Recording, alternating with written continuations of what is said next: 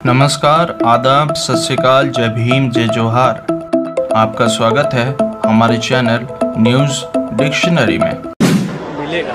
इसका नागरिक जोड़ के एक सवाल ऐसा है कि काला धन आएगा तो पेट्रोल तीस रुपए का हो जाएगा ऐसा आपने कहा था। लेकिन अभी दाम इतने बढ़ रहे हैं तो इसका मतलब काला धन देश में बढ़ रहा है क्या?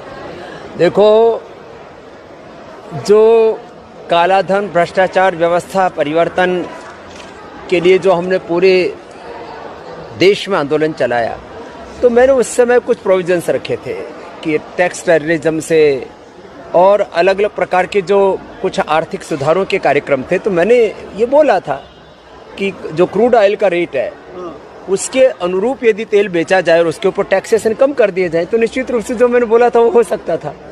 अब सरकार ने जिस तरह से पूरी अर्थव्यवस्था को संजोया हुआ है अब उनको राष्ट्रहित के सामाजिक कार्यों को भी जारी रखना है। अलग अलग आर्थिक चुनौतियाँ हैं। सरकार को सरकार भी चलानी है।